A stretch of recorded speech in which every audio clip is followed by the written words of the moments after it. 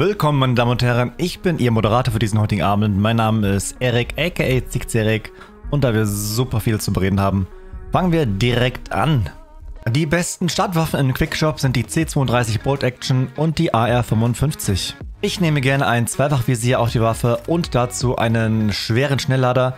Was bei der C32 auch zu empfehlen ist, ist der taktische hintere Griff, damit man schneller ans ADS geht, also schneller zielen kann. Absolut zu empfehlen bei dieser langsamen Waffe. Bei der AR-55 versuchen wir weitestgehend den Recoil, also den Rückstoß zu verringern. Das heißt, wir machen entweder einen Rotpunkt oder ein Zweifachvisier drauf, einen abgewinkelten Frontgriff, um den Rückstoß zu reduzieren, auch hier den taktischen hinteren Griff, damit man schneller ins Visier kommt und den Standardschaft, um den Rückstoß weiter zu reduzieren. Für mich außerdem unentbehrlich der mittlere Schnelllader, um schnell nachzuladen. Also diese Magazine machen so viel aus und verkürzen die, schnell, die Ladezeit wirklich extrem. Was Heilung angeht, nehme ich mindestens einen Koffer und fünf Spritzen mit. Der Koffer für schwere Verwundungen, die Spritzen für kleine Verwundungen. Das Schöne ist, dass man diese Heilung abwerfen kann, sobald man Platz braucht. 20 Kilo wiegt der Koffer, 20 Kilo spart man sich also, wenn der Rucksack mal nicht ausreicht, für weiteren Loot. Möchte man einige Spritzen wegwerfen, einfach Shift und linke Maustaste zum Auftrennen der Spritzen und man kann zum Beispiel einen Teil der Spritzen wegschmeißen. Was die Rüstungen angeht, empfehlen wir auf jeden Fall immer mindestens eine weiße Rüstung zu nehmen. Besser natürlich die grüne. Aber weiter als die blaue sollte man momentan nicht gehen. Also die blaue Rüstung mit dem blauen Schild und dem blauen Rucksack ist momentan the way to go. Alles was da drüber geht, also die zwei besseren Klassen, bringen nicht mehr viel. Was bessere Heilung angeht, sind hier die grünen Spritzen zu empfehlen. Die grünen Spritzen sind momentan die absolute Meta und ersetzen hier ganz locker den Koffer und die grauen Spritzen. Damit kommen wir auch schon zur ersten Fraktion, die man leveln sollte, und zwar Osiris, die Wissenschaftsfraktion. Die Fraktionen bieten euch einmal Kampagnen an und Jobs, um weiter voranzukommen und in der Kampagne ist es so, dass man diese wichtigen Items freischaltet. In dem Fall hier stimulierende Entwicklungen in der Osiris-Kampagne.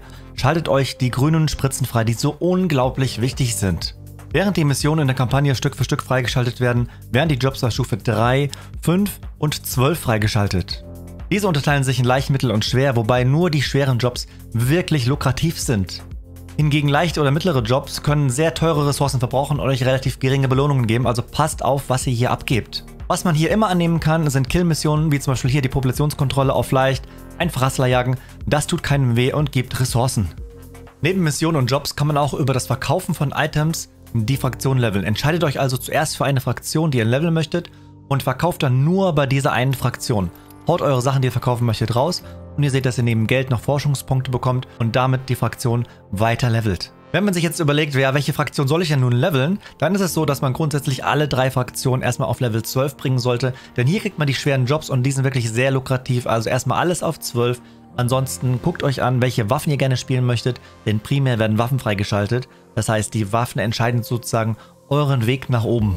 Wenn wir einen Blick auf die Osiris-Waffen werfen, sehen wir schnell, dass wir hier gute und günstige Waffen haben. Von der Scarab angefangen bis über die Manticore, eine gute ähm, Meta-Waffe für das Midgame. Crazy Lanes eine sehr, sehr starke PvE-Waffe. Die Flechette Gun, eine meiner persönlichen Lieblingswaffen, die wir übrigens bei Level 12 erreichen, also auch da, wo wir die schweren Jobs freischalten. Ich habe ein Video übrigens für alle Osiris-Waffen hier oben nochmal verlinkt. Also da könnt ihr mal vergleichen, wie das Ganze aussieht mit den verschiedenen Aufsätzen und wie sie sich verhalten. Die zweite Fraktion, die es meiner Meinung nach lohnt zu leveln, ist die ICA. Hier bekommen wir die besten Waffen im Spiel, aber leider auch die teuersten. Absolut zu empfehlen ist hier die ICA Guarantee. Für 31.000 Rubel am Anfang relativ teuer, aber die beste Waffe, um frühzeitig ICA Kill Missionen zu machen und an sich auch so ist die Guarantee eine extrem starke Waffe.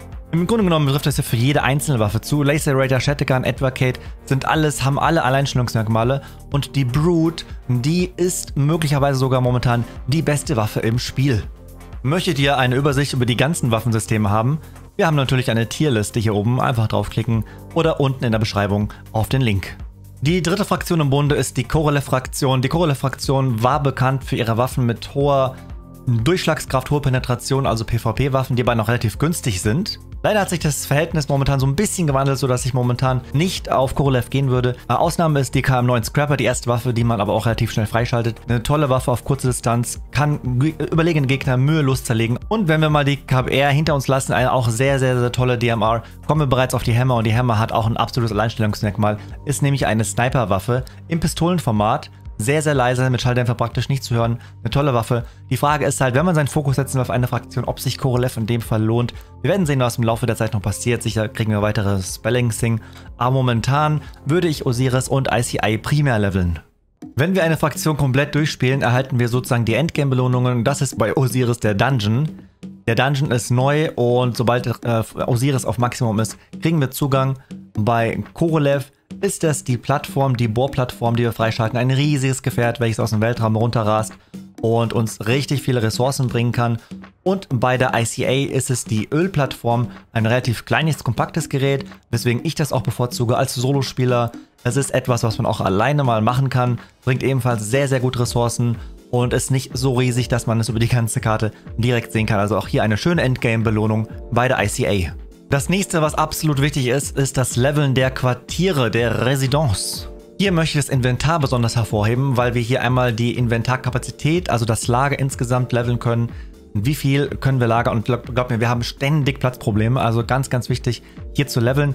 Und der Sicherheitscontainer, die Sicherheitstasche, die Kapazität können wir ebenfalls erhöhen. Also zwei sehr, sehr wichtige Bäume in der Inventarspalte. Für einen stetigen Item- und Geldfluss ist der erste Reiter interessant, der Generator-Item. Ich habe hierzu auch nochmal einen extra Guide gemacht, oben wieder der Link, auch unten in der Beschreibung. Und zwar geht es darum, dass man hier Punkt 1, 3 und 5 beachtet. Punkt 1 gibt euch Geld, also K-Marken. Je weiter ihr das steigert, ihr könnt einen Generator bis Level 20 steigern, desto mehr Geld bekommt ihr pro Stunde. Das zweite gibt euch Aurum, also Echtgeld, Währung, damit könnt ihr auch Skins kaufen. Ihr könnt euch damit den Battle Pass freischalten, ihr könnt damit Versicherungen freischalten. Also auch hier bis Level 20 steigerbar. Und das letzte sind die Vorratskistenverbesserungen. Die geben euch zufällige Items.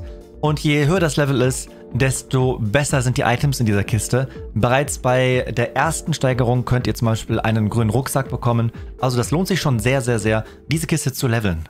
Ein wichtiger Tipp, bevor ihr loslegt, überlegt euch, was ihr machen möchtet. Einen Druck auf G öffnet euch eure Aufgabenliste. Orientiert euch so ein bisschen an den Quests und überlegt, welche Items ihr braucht für euer Hideout, also für eure Quartiere und für die Quest, damit ihr ungefähr wisst, was ihr in der Runde machen möchtet, bevor ihr die Runde startet. Auch sehr interessant ist die Sicherheitstasche, die ihr bereits vor dem Betreten der Runde beladen könnt. Ihr könnt zum Beispiel hier einen Schalldämpfer reinpacken, um im Notfall einen Schalldämpfer mitzuhaben oder Items für tote Briefkästen mitnehmen, damit ihr die beim im Todesfall nicht verliert. Eine große Bitte, geht bitte nie nur mit einem Messer rein, es lohnt sich absolut nicht. Die K28 kostet nur 500 Mark, also mindestens die K28 und einen Rucksack mitnehmen, dazu etwas Munition und die fünf kleinen Spritzen. Das wäre so das Minimum Budget, Extreme Budget Loadout, was ich euch empfehlen würde, wenn ihr so einen billigen Run machen möchtet. Eine günstige Standardroute wäre das AR-55, weiße Rüstungen, ein bisschen Heilung und Munition. Denkt dran, die Sachen mit Geld zu versichern. Augenversicherung lohnt sich hier nicht unbedingt. Die nächstbessere Kombination wäre, das Scharfschützengewehr mit einer beliebigen Zweitwaffe zu kombinieren. Eine richtig schöne Wombo-Kombo, sehr, sehr stark im Spiel. Wenn es euch besser geht, ist die Manticore in Kombination mit grüner Rüstung und Rucksack und den grünen Spritzen eine sehr, sehr schöne Kombination für das Midgame. Natürlich auch hier sehr, sehr schön kombinierbar mit dem wunderbaren C32 Scharfschützengewehr. Und wenn wir das Ganze nochmal einen Punkt steigern, sozusagen ins Late Game gehen, dann kommen wir zu den blauen Rüstungen. Ich sag Late Game, weil es gibt zwar noch zwei bessere Rüstungsklassen, aber sie bringen euch nicht mehr so viel. Das heißt blaue Rüstung mit einer der besten Waffen, die ihr spielen könnt. Und dazu ein bisschen Heilung, genug äh, Munition und ein, zwei Granaten. Das wäre das Loadout für das Mid- und Late-Game. Und damit seid ihr absolut auf der sicheren Seite. Möchtet ihr jetzt eine Runde starten, müsst ihr nicht immer auf die Konsole klicken, sondern einfach auf Tab drücken, unten links auf nach Fortuna, die Karte auswählen, Karte wählen, versichern und starten. Eure Sicherheitstasche ist eine kostenlose Stash-Erweiterung. Hier könnt ihr zum Beispiel Berechtigungsscheine mit 0 Kilogramm lagern und zwar in unendlicher Menge, genauso wie die antike Währung. Außerdem habt ihr dann immer Bares in der Tasche. Das Rennen ist grundsätzlich sehr laut. Durch normales Gehen werdet ihr sehr viel weniger gehört. Achtet etwas auf euer Ausdauermanagement, denn seid ihr einmal außer Puste, ist das Atmen auch sehr, sehr laut und extrem gut vom Gegner zu hören. Beim Mineralienabbau müsst ihr nicht den kompletten Stein zerhauen. Es reicht das Herausnehmen der Steine und der Stein löst sich komplett auf. Blumen sind klein und wiegen nichts und sind damit der perfekte, das perfekte Item für euren Sicherheitscontainer. Leuchtende Spuren führen zu einem Ei Folgt den Spuren und ihr findet ein seltenes blaues Ei. Selbst wenn sie wie in diesem Fall nicht leuchten, ist die Wahrscheinlichkeit immer noch da, dass das Ei noch da ist. Ihr könnt grundsätzlich mit jedem Landungsschiff entkommen. Das heißt, Landungsschiffe eures Feindes sind eure Freunde. Ihr habt es irgendwie bis hierhin geschafft und möchtet vielleicht noch mehr sehen. Wir machen Guides zu den Fraktionen, zu den Waffen, zu den Rüstungen, zu den Settings. Haut gerne ein kostenloses YouTube-Abo raus. Ich würde mich sehr, sehr freuen und es motiviert unglaublich, weiteren Content zu machen. Mit einem aufgeladenen Messerschlag macht ihr mehr Schaden. Gerade die Strider, aka Schreiter, sind damit One-Hit, wenn man sie denn auch trifft. Eieiei. Heilpflanzen heilen euch. Einfach daneben stellen, relaxen, entspannen und heilen lassen.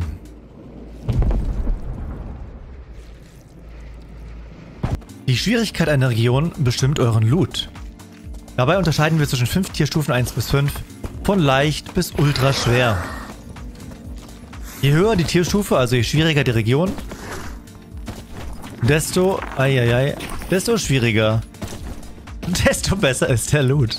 Schlüssel findet ihr in Koffer, Taschen und in diesen Jacken. Diese Jacken werden oft übersehen, also achtet darauf, dass ihr die Jacken immer öffnet. Schlüssel mit einem gelben Rand sind Bright Design Schlüssel, also für die erste Map, für die leichte Map. Und Schlüssel mit einem blauen Rand sind Crash and Falls, also für die zweite Map, für die schwere Map. Äh, da wird jeweils eine Tür mit geöffnet auf diesen Maps und ihr müsst bedenken, der Loot in den Räumen, wo ihr eine Tür öffnet, ist grundsätzlich eine Tierstufe höher, also wertvoller, als das Tier drumherum. Das heißt, während Dschungel momentan Stufe 4 ist, ist ein Raum im Dschungel, also die Kisten, die in dem Raum sind, bereits Tier 5, Stufe 5. Die große Frage, die sich jetzt stellt, ist, welche Items soll man verkaufen? Ich mache es so, dass ich immer 10er Stapel bilde von Items und wenn ich dann 11. 12. habe, dann verkaufe ich die. Aber auch das reicht oft nicht, wir brauchen mehr Platz. Und man stellt sich die Frage, was sollen wir behalten? Und da ist ganz wichtig die Regel, behaltet nichts für Jobs. Also Jobs sind wirklich unwichtig, sondern haut alles raus für die Quests, für die Quartiere und für das Crafting. Ich verlinke euch eine Liste unten in der Beschreibung, was äh, sozusagen alle Items in der Übersicht hat für die Quests. Da habt ihr so ein bisschen Überblick, aber denkt dran, ihr braucht eigentlich fast alles, aber vielleicht hilft euch das eine oder andere. Ich möchte euch unabhängig davon trotzdem ein paar wichtige Items zeigen, die nämlich normalerweise oft zu finden sind, aber ultra selten sind, vor allem auf der ersten Map. Und zwar ist das erste Item, was wichtig ist, der Nährstoffriegel. Wenn ihr welche findet, nicht verkaufen, sondern behalten, braucht ihr ganz oft fürs Hideout. Das nächste Item ist der Aluminiumschrott und zwar ist es so, dass dieses Item zwar gewöhnlich ist, aber auch ultra selten zu finden ist. Das heißt, ihr braucht dieses Item für Quests, für euer Hideout, zum Craften von blauen Rüstungen, für alles mögliche und es ist selten. Also behaltet es, wenn ihr mal Aluminiumschrott findet. Smartes Gewebe ist selten und ihr braucht es für so viele Sachen, für euer Hideout, für Quests, wie immer und auch zum Craften von Gegenständen. Für den Schalldämpfer braucht es mein erster Schalldämpfer, also mein erstes smartes Gewebe habe ich direkt in Schalldämpfer investiert. Also smartes Gewebe auch um Gottes Willen bloß behalten. Was ich auch dringend empfehle zu behalten, sind die höherleveligen Ressourcen. Zum Beispiel reden wir da von Titan, von Feltizid, von Nickel, alles was sozusagen überkammen ist, also über, über, über grün sogar noch solltet ihr auf jeden Fall behalten, weil ihr später relativ viel davon braucht.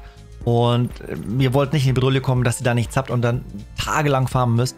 Also behaltet auf jeden Fall einen Zehnerstapel von selteneren Mineralien. Wo ihr auch noch Items braucht, ist die Crafting-Station. Hier ist es besonders wichtig, die Rucksäcke herzustellen, also mehr Kapazität mit in den Raid reinzunehmen. Der mittelgroße Rucksack, der grüne Rucksack, ist relativ leicht zu farmen. Ihr braucht da nur zwei polymetallische Fertigteile. Kriegt ihr sehr oft auf der ersten Map. Und das veränderte Nickel kriegt ihr auch sehr oft, wenn ihr Nickelberge zerhaut. Da ist immer mal wieder verändertes Nickel drin. Packt das in eure Sicherheitscontainer. Zwei Nickel für einen grünen Rucksack. Und ihr braucht praktisch nie wieder mit einem weißen Rucksack rumzulaufen. Es bringt unglaublich viel. Und ich möchte es nochmal betonen, der grüne Rucksack lohnt sich jedes Mal. Also nehmt einen grünen Rucksack mit. Die Kosten rentieren sich sofort. Was man in der Crafting-Station auch noch craften kann, sind die grünen Helme und grünen Schilde. Grüne Helme relativ leicht auch hier zu craften. Gehärtete Metalle findet ihr massig. Und das Rückgrat, das ist das Rückgrat, was die Schreiter fallen lassen, findet ihr auch massig. Fünfmal Rückgrat, zwei Metalle und ihr könnt einen grünen Helm bauen. Ähnlich mit dem grünen Schild, wieder die polymetallischen Fertigteile und auch hier fünfmal Rückgrat von den Schreitern. Das heißt, ihr könnt relativ früh bereits mit grünem Equipment rumlaufen. Ihr müsst nicht mit weißem rumlaufen. Es ist wirklich nicht so schwer, euch grüne Sachen zu craften. Denkt nur dran, immer wieder zu craften. Ein Craft dauert 15 Minuten. Immer craften, craften, craften. Wenn wir eine Stufe weitergehen, kommen wir an den blauen Schild und den blauen Helm und hier brauchen wir das Aluminium. Wir haben es vorhin angesprochen, relativ schwer auf der ersten Map, auf der zweiten Map schon leichter zu finden und Rasselhaut ultra leicht auf allen Maps zu finden. Äh, zweimal Rasselhaut, zweimal Aluminium, ihr habt einen Helm und dasselbe bei dem Schild. Hier brauchen wir zweimal trübes Feltizid und fünfmal die Rasselhaut sollte kein Problem sein. Ein bisschen schwierig wird der Zero-Systems-Prozessor. Ich habe das jetzt nicht speziell gefarmt, hab, obwohl ich die ganze Zeit blau äh, crafte, trotzdem noch neun Stück davon. Also man findet es schon recht gut im Kommunikationsturm, im Dschungel, im Dschungelcamp. Also man kommt schon gut ran und ja, die blauen Rüstungen sind sozusagen the way to go für Mid- und Late-Game. Also das wird euer Ding sein und dadurch, dass man die Sachen so gut craften kann, solltet ihr euch keine Sorgen machen später und denkt auch dran, das Ganze dauert natürlich ein bisschen länger, also craften, craften, craften. Mein persönlicher Favorite allerdings, wenn ihr den Schalldämpfer noch nicht gefunden habt, das ist diesen hier zu craften. Ihr bekommt aber den kleinen Schalldämpfer und den großen Schalldämpfer. Die große Hürde ist hier das smarte Gewebe. Ich habe mein erstes smarte Gewebe direkt in einen Schalldämpfer investiert und seitdem gehortet in meinem Sicherheitscontainer. Also am Anfang macht es sehr, sehr viel aus. Vor allem für Solospieler. Es macht wirklich viel aus. Schlussendlich ist in der Crafting-Station noch der zweite Reiter so wichtig und zwar das Reparieren eurer Items. Nach jedem Raid geht ihr einmal in die Crafting-Station und repariert. Das heißt, ihr craftet einmal irgendein Item und ihr repariert euer Setup und damit seid ihr wieder ready to go für die nächste Mission. Wenn ihr das nicht macht, verliert euer Schild und eure Ausrüstung immer mehr an Haltbarkeit und ist irgendwann komplett weg und ihr steht nackt im Raid. Und bevor ihr nackt an Videos seid, hier noch ein Videovorschlag. Die Settings, wenn ihr die noch nicht kennt, guckt gerne rein die besten Settings, um Gegner besser zu sehen und um ein paar FPS rauszuholen. So der Standard momentan in der Season 1. Schaut gerne rein. Ansonsten, Leute, vielen Dank fürs Zuschauen, fürs dabei sein. Ich wünsche euch alles Gute bei The Cycle Frontier und sage, bleibt gesund und sauber. Bis zum nächsten Mal. Ciao, ciao, ciao, ciao, ciao, ciao, ciao, ciao.